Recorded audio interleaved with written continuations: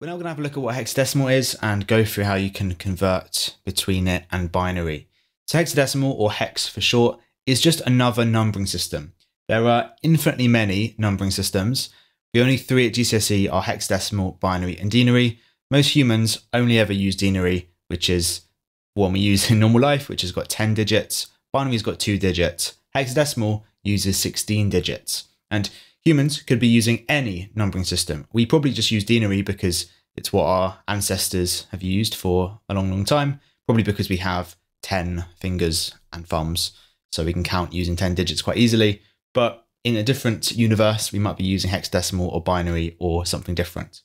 So hexadecimal uses 16 digits. And the first 10 digits, 0 through to 9, are shared between denary and hexadecimal. So 5 in denary is equivalent to 5 in hexadecimal. However, we run out of numerical digits to use between 10 and 15.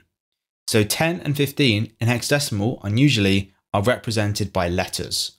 So when we see D in hexadecimal, we are treating it like a number and treating it like it is 13, F15, A10, and so on and so on.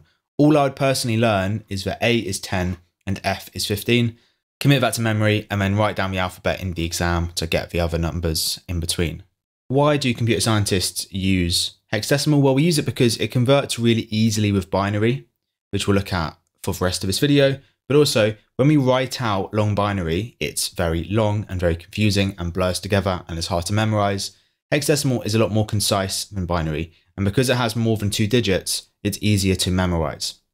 And the key reason why both these statements are true is because one hexadecimal digit is equivalent to four binary digits. So for every four binary digits, for every four bits, I can represent that with one hexadecimal digit, which is why hex is more concise because we just divide the length by four to give us the length in hexadecimal. And this relationship makes it easier to convert. So let's have a look at some examples of this. First of all, given a binary number, let's convert it to hexadecimal. So this number here is a byte. I've got eight bits. However, because of that one to four relationship, we only ever look at four digits at a time. So what we should be doing is converting a group of four at a time and then combining it afterwards. So our first job is to go, what is 1011 in denary? Well, I can do my little place value table, 1, 2, 4, 8. This is going to be 8 plus 2 plus 1, which is going to be 11. So this nibble is 11 in denary. What is 11 in hexadecimal? Well, if A is 10, therefore B is 11. 11 is equivalent to B in hexadecimal. And we do the same with our other nibble. If I've got multiple, I do the same with the other ones as well. This in denary is going to be 8 plus 1, which is 9. Well, 9 in hexadecimal is just 9 because the digits 0 to 9 are shared with denary. And that means my answer, which I'd write down together, is B9.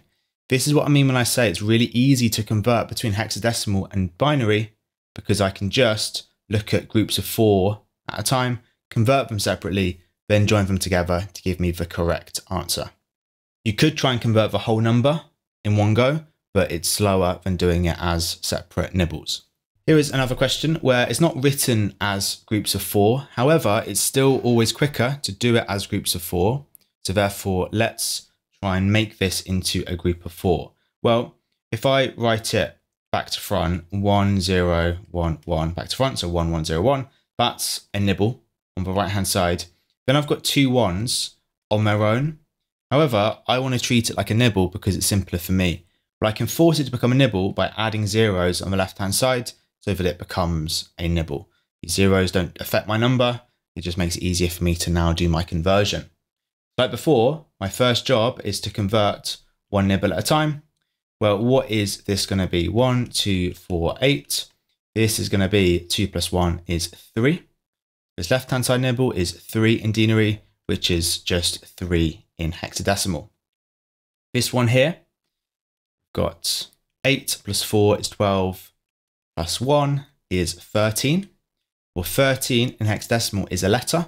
Again, all I need to memorize is A is 10 and F is 15, B is 11, C is 12, therefore D is 13.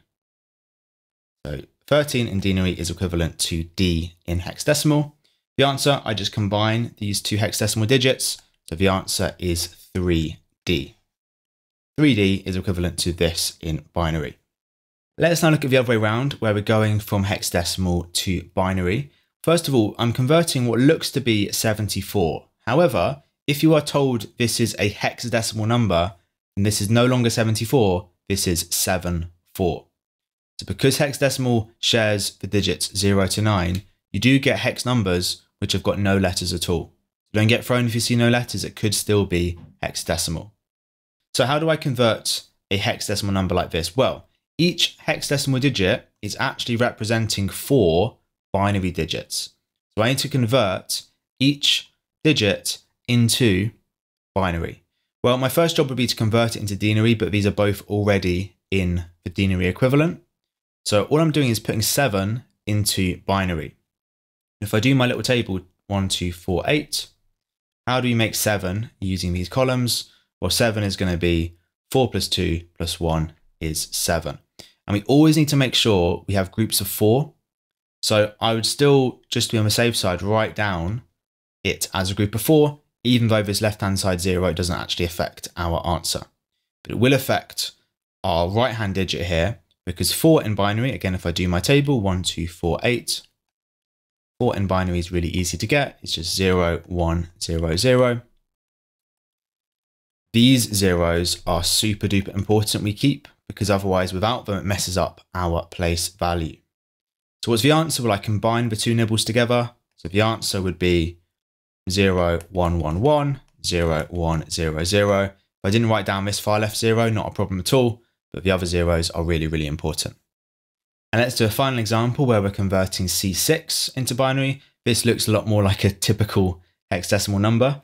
So very recognizable as hexadecimal. What do I do? Well, as always, I separate my digits and look at each one separately because each represent a nibble. What is it representing? Well, C in denary is, well, A is 10, B is 11, so therefore C is 12. So really C is representing 12 in denary, and I now need to find what 12 is in binary. Do my table if I'm not quite sure. How do I make 12 with the columns? 8 plus 4 is 12, so it's like that. 6 is just 6 in denary. How do I put 6 into binary? Well, I can do 4 plus 2 6. So that is my nibble for 6. And again, I just combine my two sides together to give me my actual answer.